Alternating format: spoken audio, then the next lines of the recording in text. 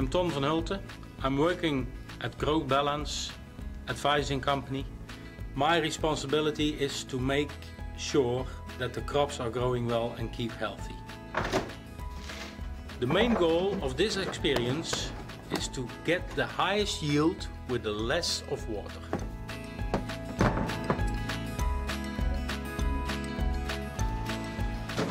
I'm Dr. Jacqueline Baar. In this project, the function I have is giving advice on the use of sustainable soil technology, uh, particularly with plant beneficial uh, fungi that act as biofertilizers. The substrate you see here is mixed with the mycorrhiza. The mycorrhizal fungi is a fungus that brings over the nutrients and the water to the roots, so it's connected, and then the roots take up the nutrients and the water, bring it up to the shoots, to the green parts of the plants. And uh, in exchange, the plants provide sugars from the photosynthesis to the fungus. The main goal of this experiment is to investigate whether we can grow crops like tomatoes, cucumbers, etc., uh, with as less possible water use as possible. It's very interesting to use low quantity of water because one of the big issues worldwide is the limitation of water.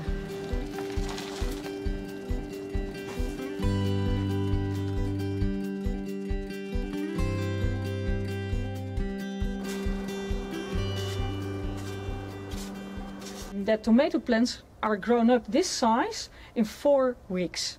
So the plants that are untreated with the mycorrhizal fungi are smaller and they also have a different color. As you can see they're a little bit on the darkish side and this indicates uh, that they have a shortness of nutrients. That's not so strange because the substrate was treated with half the amount of, uh, of fertilizer and they don't have the helpers, the mycorrhizal fungi, to provide them with the nutrients.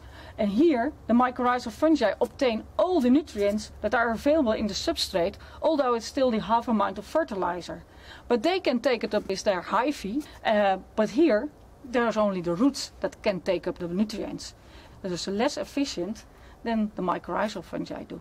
By planting out already vigorous and strong plants with a good root system, the chances that they uh, survive uh, with a, a low water gift are much higher. We expect that we can grow the crops with 90% less water, but the crops could also die because there's too little water. What also could happen is that the microorganisms are not as functional as we expect, and that also the crops don't develop so well or get sick or don't uh, produce the amount of yield we, uh, we are aiming for. We use this kinds of tray. It's very high, 18 centimeters, to make sure that the primary roots are going down and we want to plant them safely in the soil without damaging them. That's why the plant can go down to the water. That's why we can grow the plants with less of water. It's very important that the capillary stays intact, otherwise the plant cannot take its water. The water can come up out of the ground, up with the capillary to the plant. When you dig the soil with a machine, the soil is loose and the capillary uh, from the soil is gone. That's why we use a pin to make the hole for the plant that the capillary stays intact. Very important. We put in extra mycorrhiza and afterwards we put over the water box. To connect the plants with the soil, we give them one liter of water, not in the box, but into the hole where the plants are standing. To take care of the plants that they get water, we are making two ropes and they come out on the underside. And the ropes are the equipment to give the water to the soil and the plants. So we fill up the box with water and the ropes take care that the box is not going empty in 15 minutes but that it takes three or four weeks. The plant always gets some drops of water. When we leave the box open, yeah, animals can drink out of it. Evaporation is very big. That's why we cover it with a plastic plate, like this. Then a lot of evaporation is already gone. But to save the water what's falling on the box, we have a real cover. We put the cover on the box like this and we close it Now the water can fall on the box and it's going through these blue holes inside the box and it cannot come out. It's going out, of course, through the ropes to the plant. The biggest challenge for us is to use 90% less water and get the highest yield possible. But the biggest challenge is for the plant himself because the plant needs the water for the process in the plant to, to take the minerals, to grow and to cool himself. So when it's getting very hot, the plant uses the water to cool himself with evaporation. That's for the plant the biggest challenge if he can grow with this less of water. These tomato plants are, are, now seven weeks old. It was not treated with mycorrhizal fungi and bacteria, but it received the usual, usual fertilization treatment. As you can see, the plant grows well, and uh, we think it's an okay plant. But if we compare it to treatments with mycorrhizal fungi and bacteria, we will see tremendous difference. These tomato plants have also been seeded at March 12, uh, these tomato plants have not received any fertilizers, but they have received mycorrhizal fungi and bacteria. These plants received uh, at least 50%, 60% less water than usual. So the my mycorrhiza and the bacteria help the plant not only to take up nutrients, but they help also the plant to take up um, water.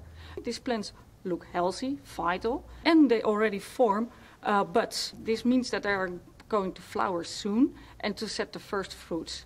And that is rather rapid after seven weeks already.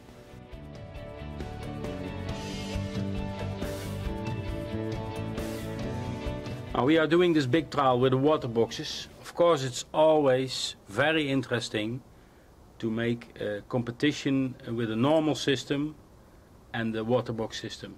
That's why we planted here the plants directly into the soil and giving them water like a normal grower should do and then we are looking what will be best.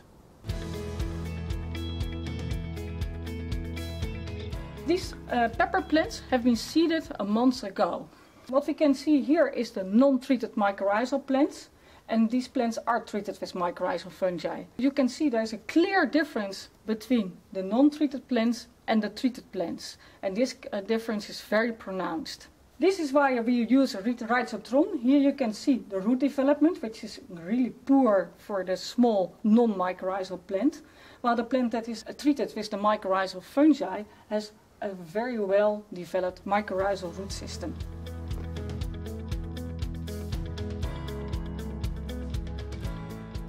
We make the choice not to heat the greenhouse so that we can grow like we did uh, 50 years ago.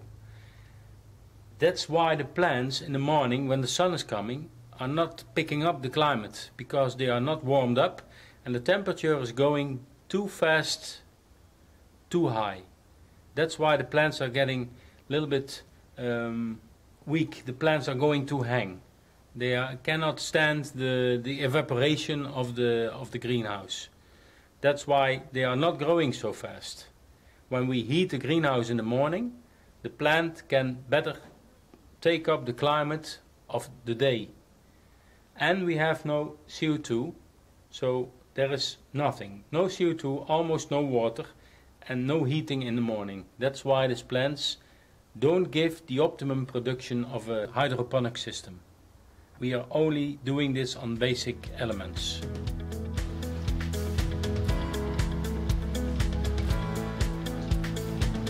I'm uh, Pieter Hoff from Holland. I'm the inventor of the Groasis Waterboxx. The water box functions in a way which is actually quite simple. It has a cover that's collecting water in two ways, through condensations or through rain.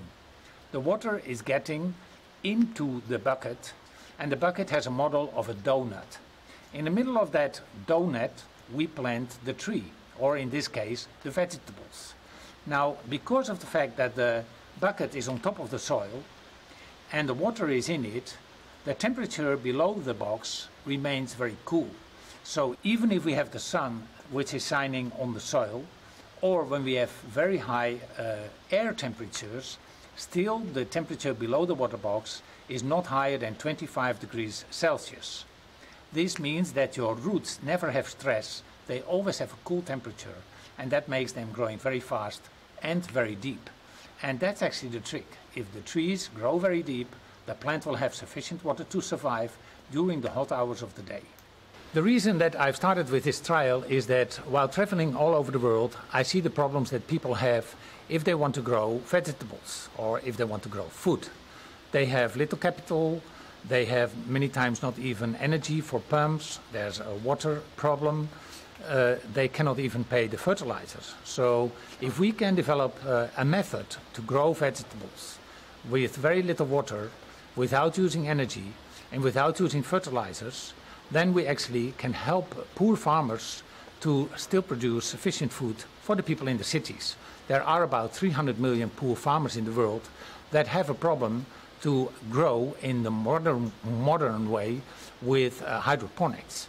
If you want to grow with drip irrigation, you need to dig a well, and a well costs you $5,000. You need electricity for the pump, which is also very expensive. So uh, you cannot grow vegetables on a small scale if you want to do that with drip irrigation.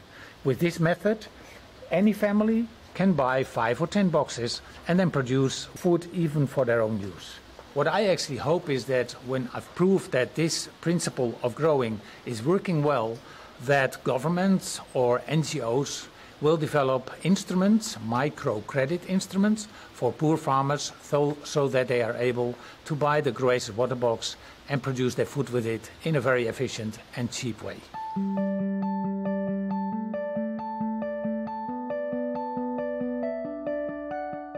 When you see these tomatoes hanging here, the first question you have is how many kilos a square meter are you going to get of this new system? When we are counting, we, we count uh, an amount of uh, 300 tomatoes a square meter, more or less. The tomatoes weight is uh, more or less 35 grams. So that means that we have between 10 and 12 kilos of this cocktail tomatoes. So that means the production in a hydroponic system is between 45 and 50 kilos maximum. When I count 12 kilos, that's um, yeah more than 25% of the yield we make when you compare it with the hydroponic system with all the equipment they have. A good climate, a heating system, CO2, uh, fertilizer, water enough, uh, early starting, very early starting. So we are doing very well with this system. We are going to look to the major difference between uh, our trial with the water box in Elshout and with a complete new nursery in a hydroponic system.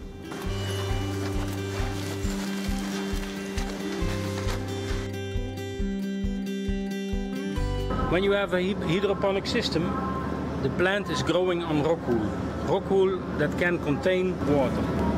The plants get very precisely water with the dripping system. A pen with an infuse, every infuse gives the same amount of water. Every dripper can give 2 liters an hour. When you compare the hydroponic system with the system with the water box in Elshout, you have some huge uh, differences because um, when you heat the greenhouse you can much earlier start with growing the tomatoes. The tomatoes here are put in the greenhouse at the beginning of December and they harvest till November, till the beginning of November. And they get up to 60 kilos a square meter with the hydroponic system. With CO2, with fertilizers, with a heating system, with everything on it. A huge greenhouse, very high, very light. And in Elshout with the water box, we have an old greenhouse from the older days, from 30 years ago. We have no fertilizer, we have um, much less water, we have uh, no, uh, no CO2, we have no heating system. So we are producing on a way they did 30, 40 years ago and we get an amount of tomatoes between 10, between 8 and 12 kilos a square meter. That's what we get in uh, Elshout. But the season is much shorter because we start in April and we end in September. when you compare the amount of water with the water box and out of the water box and the hydroponic system, you can say that uh, in Elshout with uh, no water box, out of the box, just in the soil, we are using 320 liters of water a square meter. In the box we are using 40 liters uh, a square meter and here we are using 700 liters a square meter of water. That's what you can compare with each other. Yes, okay, in the hydroponic system the production is much more higher, but you, when you compare in the box and out of the box 320 liters and 40 liters, yeah, it's a big amount.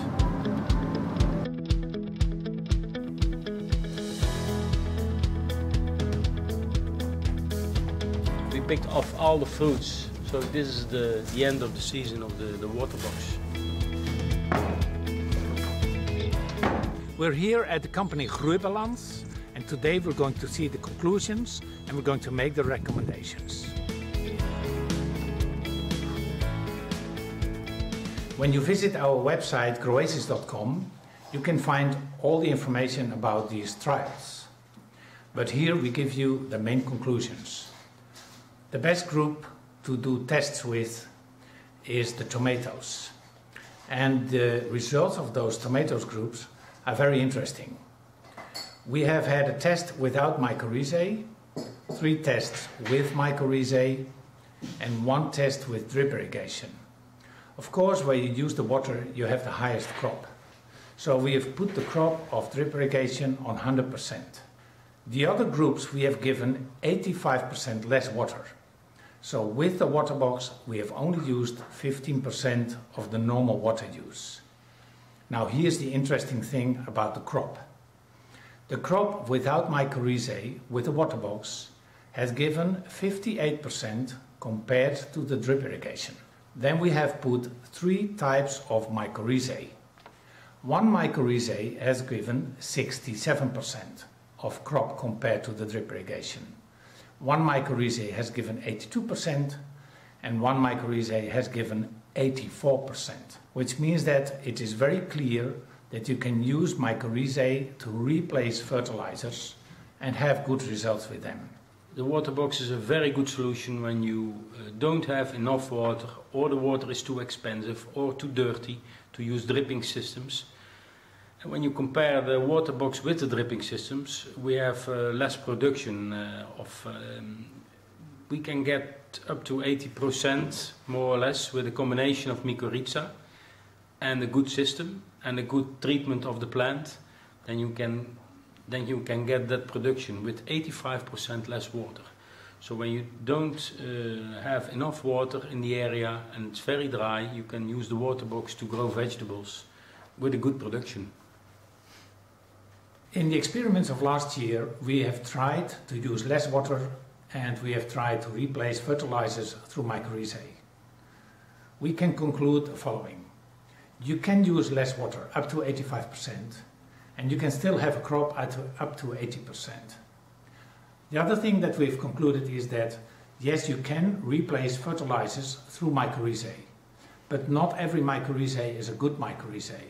Mycorrhizae is another word for fungus, and you know that, for instance, botrytis is a bad fungus, which means that when you use mycorrhizae, you first have to do trials in order to find whether the mycorrhizae that you want to apply is a good one for your crop.